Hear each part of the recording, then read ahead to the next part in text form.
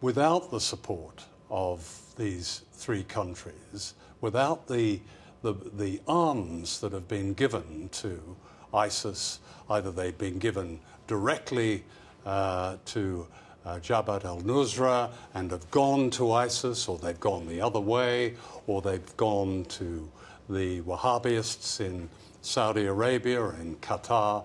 But the French, the British, the Americans, and the Turks have all supplied those who have kept ISIS going. You know, if David Cameron had won his Commons vote a couple of years ago, ISIS would now be in charge in Syria. That, the, in other words, the Middle East's most um, multi ethnic, multicultural state would be finished.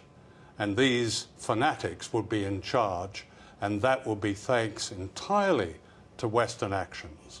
Western actions that are reinforced by our propaganda. Yeah, well, that was 2013. Uh, Dumas, in, uh, in an interview on French television, said that, that he was, uh, happened to be in England and he was invited in to see people in the government and asked if he would like to take part in a project they had. And that project was an attack on Syria. Uh, but, you know, that's 2013. We can go back to the 1950s when the Br British intelligence was plotting the, the end of the regime in, uh, in Syria. Syria, Syria's crime, Syria's main crime is that it is independent and it stands against um, Israel dominating that part of the world. It stands with, these days, with Iran, it stands with uh, the other opponents, Hezbollah, now with Russia. There is no question that if there was an election tomorrow, all those minorities that look to this government in Damascus for all its violations of human rights, and no one doubts those, look to it as its protector. Because the alternative is ISIS. And everything the West has done has been to create first the Mujahideen in Afghanistan, then with uh, the, the invasion of Iraq in 2003, then in 2011, the invasion and destruction of Libya. The Russians, uh, Putin, is, it seems to be one of the most serious people involved in the Middle East. He pointed out that uh, the, the, the, the long lines of trucks uh, uh, ISIS trucks that are stealing Syria's oil haven't been bombed during, haven't been interdicted during the, the, the so called Western war against ISIS. The Western war against ISIS has been a farce.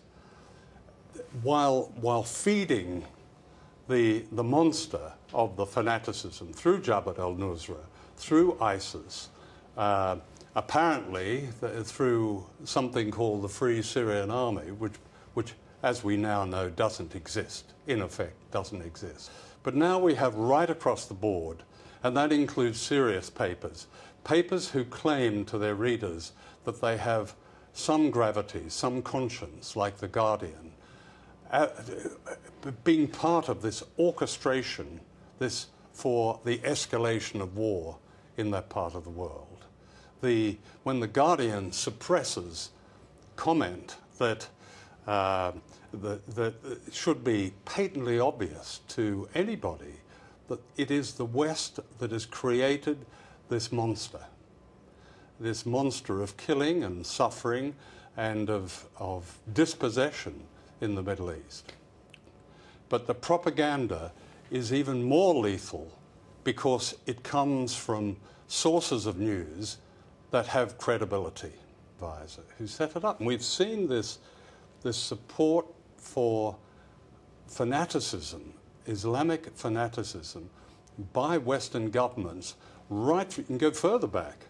Go back to the, the time when the Muslim Brotherhood, at its most fanatical, was given a place to organize in the offices of the Suez Canal Company, then con- controlled by Britain. Read Mark Curtis's extraordinary book about this alliance between imperial Western governments and Muslim and the creation of Muslim fanaticism. While doing that, uh, demanding that the one uh, government that could stand up to them, that's in Damascus, be overthrown. You know, the wish list is, at, at the top of the wish list is there has to be a concerted effort, clearly, to, um, to stop the destruction of Syria, the final destruction. The second priority should be all the parties negotiating a way to deal with ISIS. I can't imagine that happening. Western state terrorism is the main source of terrorism in the world. The victims of terrorism, the greatest number of victims of terrorism are Muslim people. Those, those two facts need to be almost scratched on the bathroom mirrors of anybody with a public voice because they're truths. The other, the, other, the other point I wish to make is that unfortunately because there is really no free information available in the mainstream in Australia, you haven't heard that ISIS is on the verge of defeat. The corridor to Turkey has been closed. The Syrian army has effectively defeated ISIS, backed by the Russians, backed by Hezbollah, backed by Iran. Whatever Australia does there is beside the point. So I would think, as far as Syria is concerned, and this is not as far as Iraq is concerned, but as far as Syria is concerned, I think ISIS, I dare to make a prediction, I think ISIS will be defeated, and that defeat is happening now. It seems as though it, keep, keep, like, it yeah. keeps appearing a power vacuum that just, you know, ISIS are filling that. Yeah. But it was created after a previous withdrawal. I mean, I think there's a lot more to the story well, than just defeating terrorism. ISIS was created. ISIS is not much different from from uh, the Mujahideen in Afghanistan and uh, uh, the uh, the Al Qaeda in uh, in Iraq, uh, the various tribal groups who had affiliations to Al Qaeda and others in Libya and and in Syria. All these places are, are, are places where we, quote unquote, have destroyed societies. There was no jihadism in Iraq when I drove the length of Iraq shortly before the invasion. None. And I felt perfectly safe. There was no jihadism in Libya when it was controlled and run quite successfully by the dictator Gaddafi.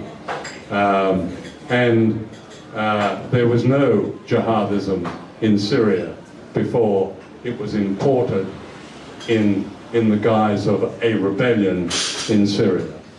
So I think the most important thing is we do have to look in that bathroom mirror, in that mirror. We talk about them constantly. We have to talk about us. Okay.